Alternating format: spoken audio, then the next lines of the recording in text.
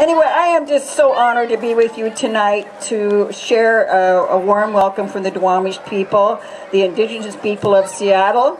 And um, I am. It's awesome to see so many people today. I thought it was just going to be a small crowd in the um, gymnasium or something, but I am so proud of you for turning out and joining this great party tonight. Um, usually I don't leave, uh, leave a uh, blessing. I don't want to leave you with a blessing, but you know, our chief said that our religion was the traditions of ancestors, the dreams of old people.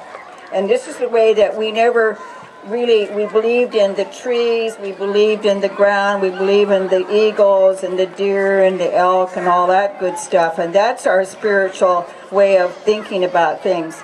And if any, and I want to extend a warm I want to welcome you to the Longhouse. And the Longhouse is on West Marginal Way. If you haven't been here, please come.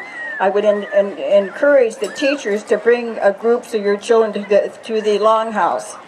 And uh, you can't get lost because it's West Marginal Way, not East Marginal Way. We're on this side of the Duwamish River. And I want you to come and see us this year.